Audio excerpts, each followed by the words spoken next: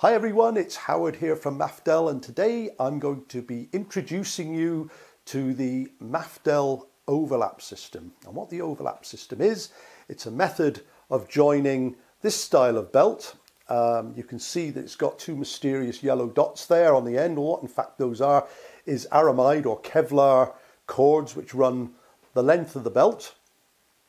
And you can in fact, if you want to, because they're aramide, you can actually butt weld these together without having to drill, but it doesn't give you the optimum strength. And what we've done is produced a system where you actually overlap the two uh, cords inside, which produces an immensely strong join where the cords actually run, they sit alongside each other.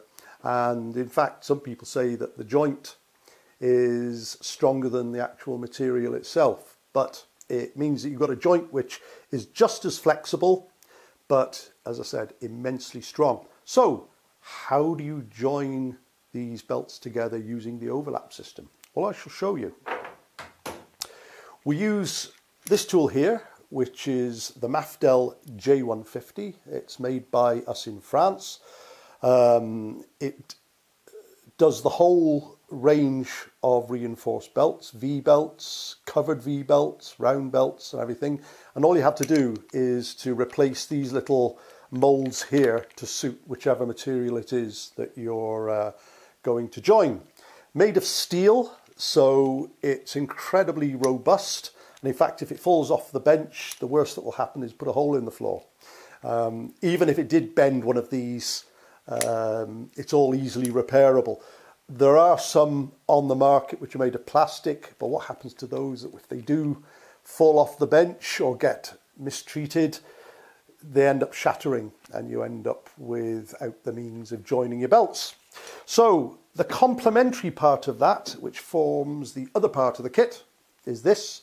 This is the MC150, um, a relatively new iron uh, only a couple of years old, uh, has three distinct advantages over many of the other irons in the market. One, it's got a set of feet, so it can sit on them, uh, which means that you're not melting anything with your blade. Uh, the other advantage is that within the body, you've got sophisticated electronics, which maintains the blade at the optimum temperature. So if you're in a, a shed, for instance, with a, a draft, it means that it's compensated for by the electronics. It means you end up with a perfect uh, jointing temperature. And then the big one is that it heats up and gets up to temperature in two minutes. That's all.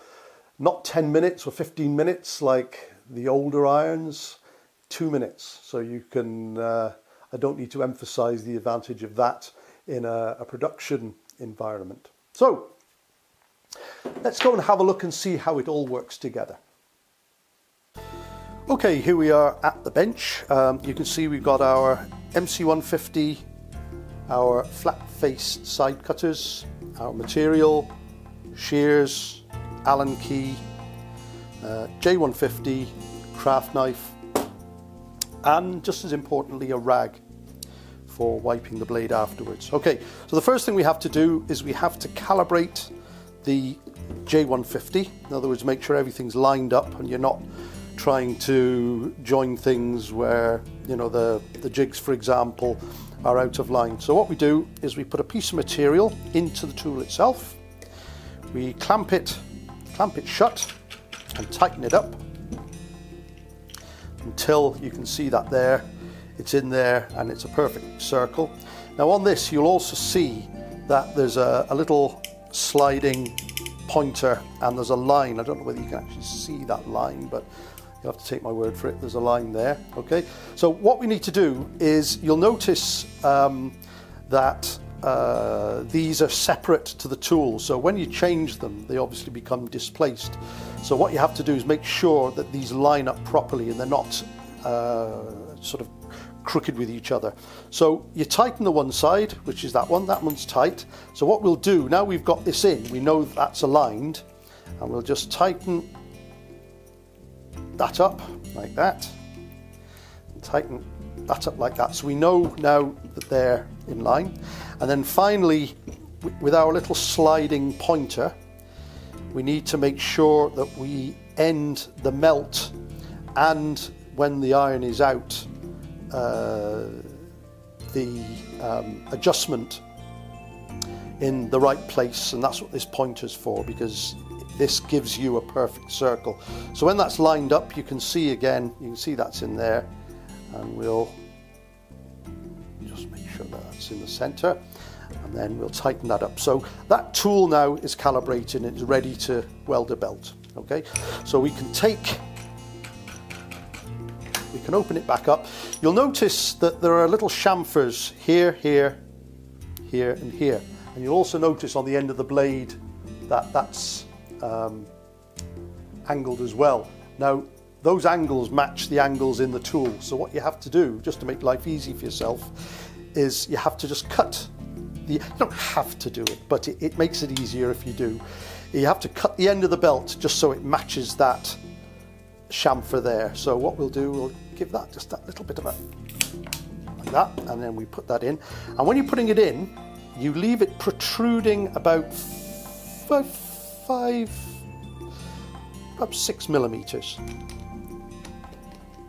Tighten that up like so. Nice and tight, okay?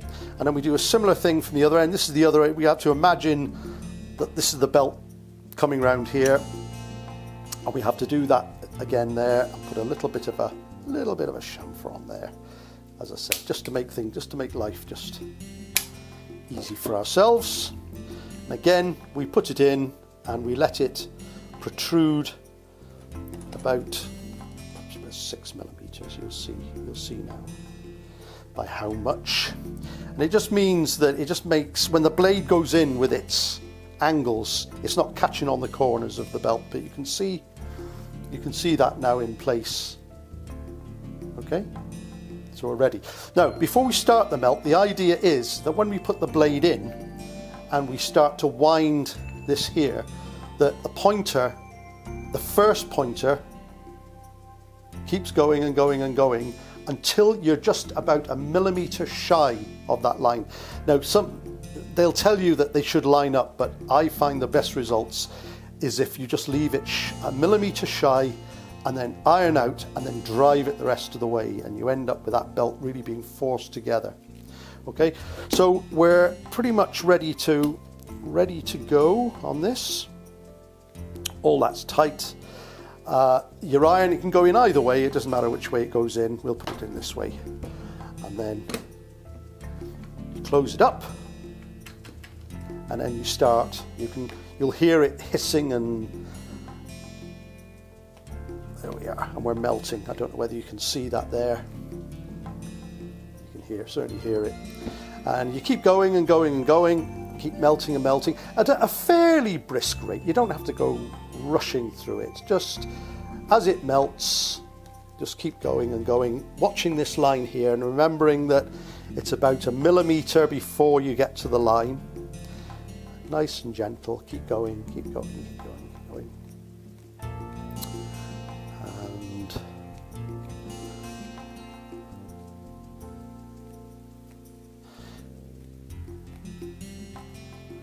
Can see we're coming up, we're probably about four millimeters, three millimeters.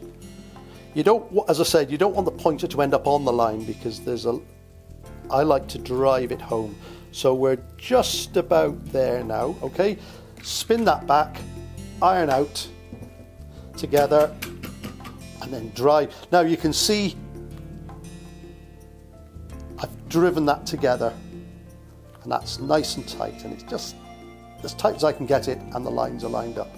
So that's us there. Now, when you're actually doing a belt live, a proper belt in the factory, because there's some weight to the belt pulling, I always say that you should leave it about four or five minutes just to cool down sufficiently so when you take it out of the, the tool that it doesn't pull on it. But because this is a demonstration, there's no weight at all on the um, on the belt so we can just undo it. Now the sequence of undoing it, don't do that first because if you do it means it's still clamped here and there's a tendency if that joint is still warm it could pull it apart. So you do the little clamps here first. You can see it's awkward this because it's I'm a sort of a funny angle I could do with the camera actually being over there and then once that's uh, undone spin that right back. And then that's us. You can see that's uh, all, all nicely welded there. Okay. And it's ready to be now you can cut this in various ways. Um, that's still a little bit warm there.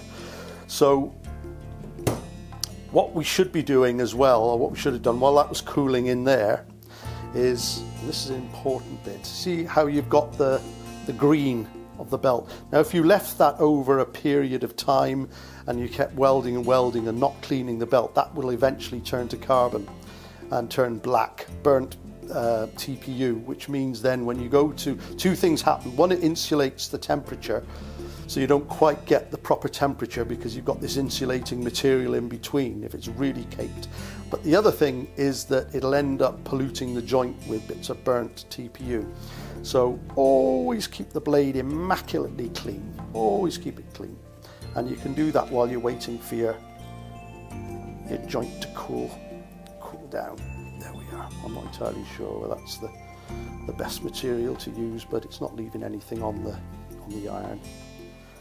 So, one thing I didn't tell you about, I should have told you, is when you plug the iron in, you've got a, a red uh, indicator there. Now, when it's solid like that, that is up to temperature. But if you see it flashing, it means that the iron has dropped down in temperature.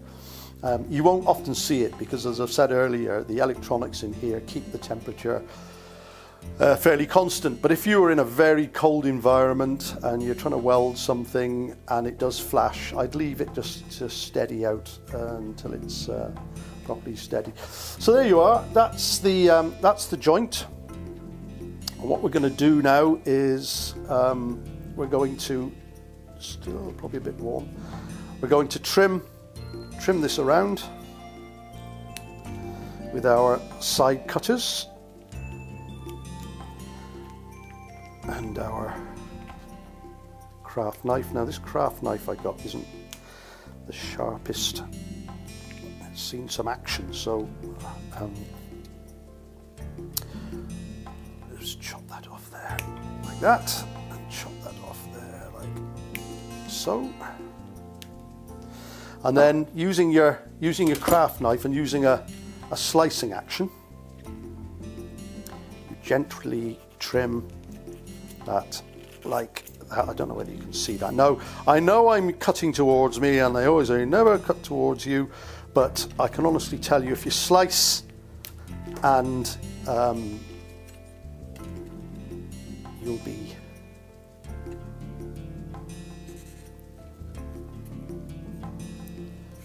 there we go. There we are. There we are. Okay. Well, you can see you can see there it's um, you can keep trimming it. And in fact what I do sometimes if I want a really immaculate job I can melt I can melt those sides on the iron and get them all looking really uh, ship shape and so forth so. But I think I don't want to detain you too long on this so It'll give you an idea anyway. There, you can see you can see that. There's the the shape of the join and what you would do as I say if you wanted to just give it a a little trim there. And then if you wanted to you can always use the the iron to smooth it all off. So there you are. Now here's the acid test. If you're practicing with this and you want to make sure you've got the right join the easiest and the best way to do it to make sure you've done the job properly is to cut the joint in two. And you can see where the the Kevlar strands have now joined together um, so it's almost one. But most importantly is that you shouldn't see any any splits where those two haven't welded. That should be absolutely solid which it is Phew. so you can see again, look, there's no no splits. Now if you when I was driving that together, it, before I used to do it and I used to take it up to the line, I don't think I was getting sufficient pressure. So um, you can end up with actually a, a bit of a fissure or a, or a split which isn't good, which means it hasn't welded properly. But that has, that's great.